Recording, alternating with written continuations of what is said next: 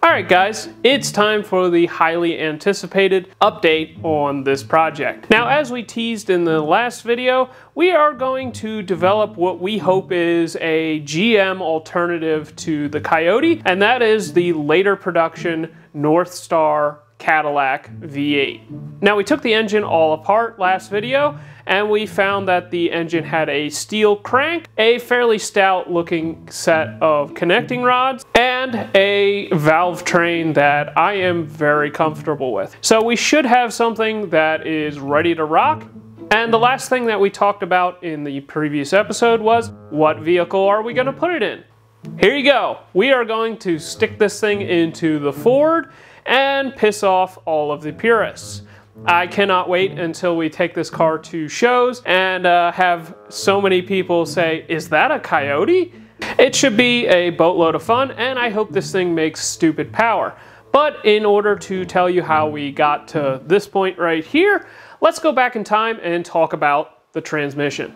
So, as I just mentioned, the transmission is probably one of the most important parts of this swap. And that is because without the transmission, you can't get the power to the ground, and if you can't do that, who gives a crap? So I was excited to find out that one of the transmissions that I got with this engine was this one right here. And this is a 6L80E. If we look at the transmission tag here, the last digit here being an A, means that it is a 6L80E. So the nice thing about this transmission is it already has the bell housing bolt pattern that I need and they are proven to hold uh, pretty decent power. Uh, I know a guy that is running uh, low 8s in a 3400 pound car with one of these, obviously with a few upgrades.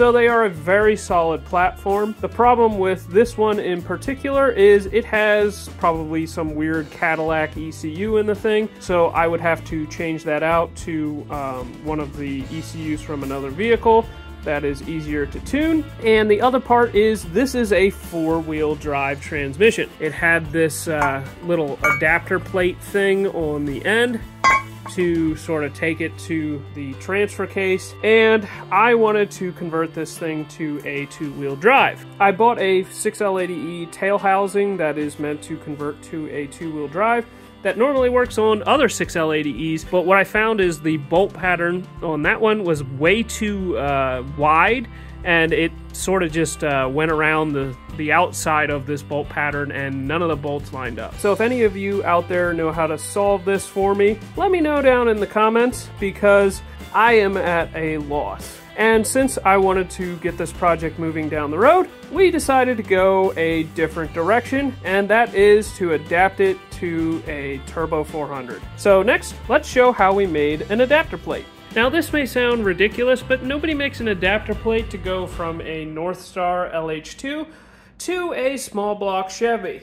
So we had to make our own. Now building an adapter plate for this engine starts right here on the computer in your design software. So the basic goals of a adapter plate are to take your bolt pattern from your engine, seen on these flange bolts here, and to take it to the bolt pattern of the transmission that you would like to use. So you can see the bolt holes here of a small block Chevy that I am trying to uh, adapt the engine to. Now every engine is going to have what are called dowel pins and basically what the dowel pins do is they get the transmission aligned so that the input shaft and the crankshaft centerline match each other and are collinear. From there, your bolts that hold the bell housing down onto the engine are there to do just that. They are only there to provide clamping force. The dowel pins are what locates everything, and the uh, bolts are there to provide clamping force. In the case of the Northstar, it has two uh, dowel pins. They're more like dowel sleeves they uh, go around um, two of the bolt holes on the engine and they are here and here. Now to determine um, you know what the pattern actually looks like, sometimes, like in the case of this engine, you get lucky and you find somebody has posted the drawing on the internet, and I was able to find this. This is a 4T65E transmission bolt bell housing bolt pattern uh, that I was able to find. Now, it has most of the bolt holes that I am after, but it is missing a few. So if we bring back our adapter plate, you can see that I was able to get uh, most of my bolt holes here on the perimeter, but there was a few over on this side of the engine uh, that were not included, and that's because the transmission comes through uh, this region and the uh, transverse engines don't have uh, a bolting provision down here. So I was able to get most of what I needed from this drawing here, but I also took a picture of the transmission uh, from the front, just as sort of a sanity check, just to make sure everything looked okay. And from there, it was time to 3D print this model. Now, how I did that was I actually um, split the thing into several pieces. I did this for a couple of reasons, and one of those reasons was my 3D printer uh, can only print a certain size, but also I knew I was going to have particular trouble with this one region on the adapter plate. So I knew that I was going to have to reprint that part a couple of times. So that is uh, why I split it into a couple of pieces.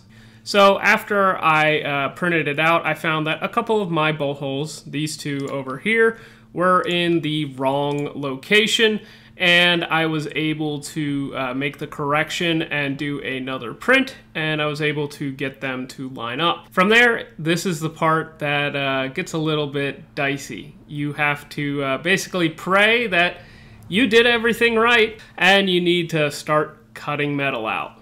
And now we are going to go into the real world and show you how it worked out.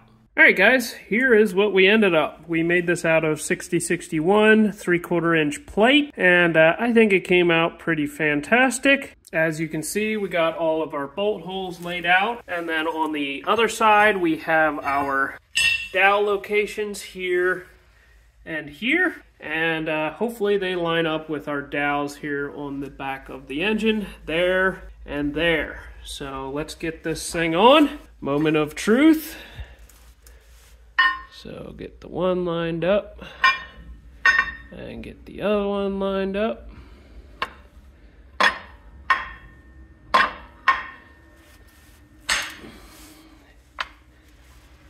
That looks fantastic. All right, I think we nailed it, guys. Now that we had an adapter plate, we could get the transmission bolted to the engine and dropped into the car. Since we already had a Turbo 400 set up in this Ford Fairmont right here, it was fairly easy to get the transmission crossmember modified so that we were able to bolt the transmission to a solid mounting point. From here, it was time to uh, start working on the motor mounts. Now, the motor mounts on this engine are a little bit strange. They're uh, a little bit further back on the engine than like an LS or a small block Chevy. Now, this may sound ridiculous, but nobody makes a mount to put a Northstar V8 into a Ford Fairmont Fox body platform, so we had to make our own. Alright guys, so this is the engine in its final resting place, and I think it fits in there pretty decent. From what I hear, the Coyote engines are a very tight fit here along the sides of the engine, and it looks like we may actually have some room here to uh, sort of work on the engine. Crazy, I know, right? So if we go in down below, you'll see that we have our uh, motor mounts here. We basically welded plates onto the K-member and adapted to the original motor mounts that the Cadillac was um, mounted with originally. Now the driver's side was a little bit more challenging just because we had the steering rack to get around. So we had to make one plate here that came off the side and we had to do some significant modifications here to the original motor mount, but it is mounted up and like I said, we'll add some more uh, gusseting once the engine is pulled out of the car. But we can do that later we wanted to get onto some more of the uh, more glamorous stuff, just so we could show you guys a more entertaining product.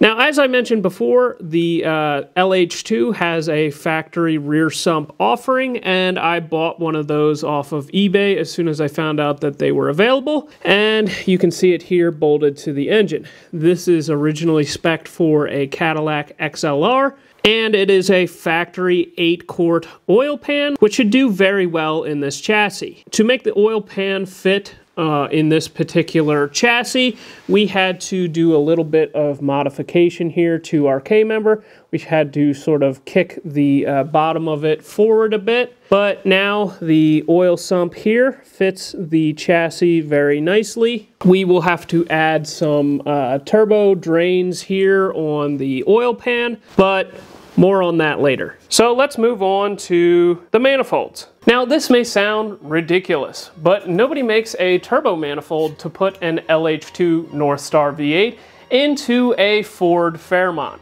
So we had to make our own. And this is not it. This is an up and forward or down and forward turbo manifold for a GM LS engine. And we basically used one of these as material to make our own turbo manifold. And here is what we ended up with. This is a fully fabricated turbo manifold that my dad and I just finished making up. And this may sound ridiculous, but nobody makes exhaust flanges for a LH2 Northstar V8.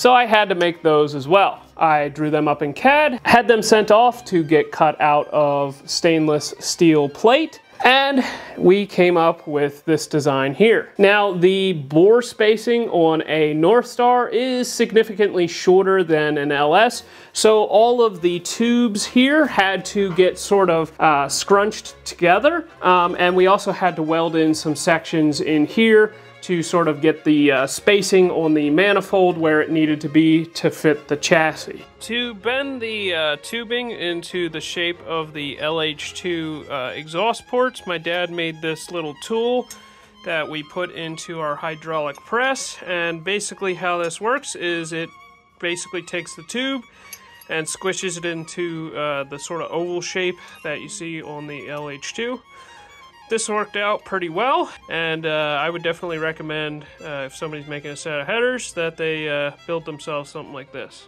I think it came out pretty decent, so let's get this onto the car along with its mate and show you what we got.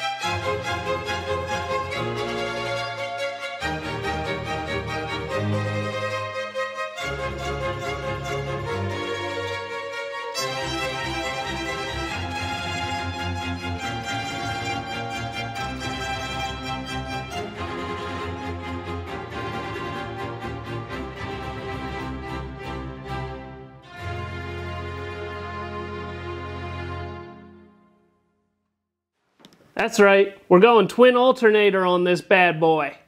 All right, guys, what do you think? We are going twin turbo on this engine, and I hope you guys are as excited as I am. For the turbos, we chose to go with uh, twin GT3582s right off of eBay because we have had a lot of success with these turbos in the past. And we figured with such a small engine, we probably needed to uh, help it out a little bit in the spooling department with a set of twin turbos. Now, I expect these turbos to take us pretty far.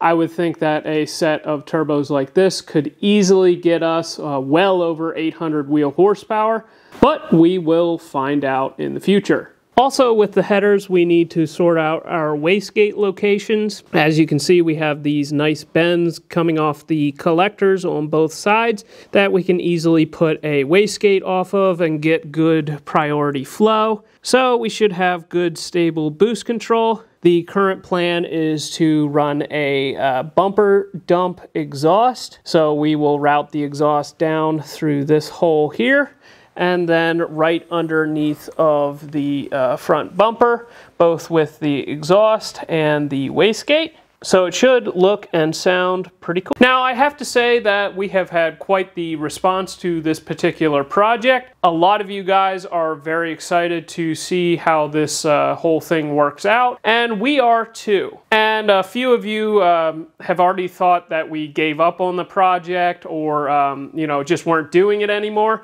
And um, uh, all I got to say is, guys, you got to be a little bit patient. This may sound ridiculous, but nobody makes parts for these. And the people that do are already on board with us. In fact, the day before I posted the video on this engine uh, two months ago, the owner of Northstar Performance actually messaged me asking me about 4200 stuff and I have already talked to him uh, in depth about um, you know what our plans are and how he can help us out. So we will definitely be having some collaboration with him. But the parts that he doesn't offer, nobody else makes. So things like the adapter plate or the exhaust flanges or stuff like that, you know, they take time to uh, produce and we want to make sure that we do this project right.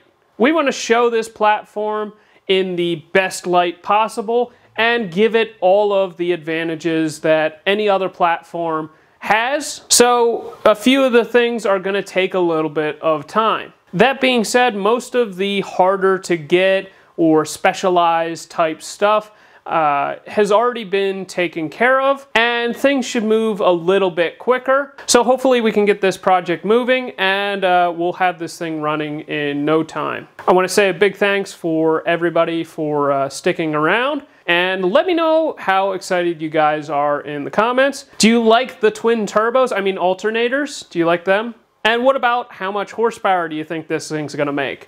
Frankly, I am super excited to get this project done. So make sure that you guys stay tuned. Make sure you like, comment, and subscribe. Maybe buy a t-shirt, and we'll see you in the next one.